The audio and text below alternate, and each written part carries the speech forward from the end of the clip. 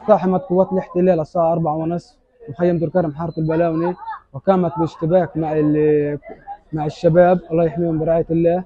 وقاموا بحصر منزلنا وتكسير الدار ودخلوا إلى الدار. وقاموا بدخول الدار خلال آه، ساعة. وقاموا بتكسير داخل الدار. وبقى وفي عندنا كراج بالدار. فتحوه فتشوه وطالوا شاكوش وطلعوا برا طبشوا السيارة وطبشوا شبابيك الدار وقاموا بالإهانة وطبشوا جوالات الدار.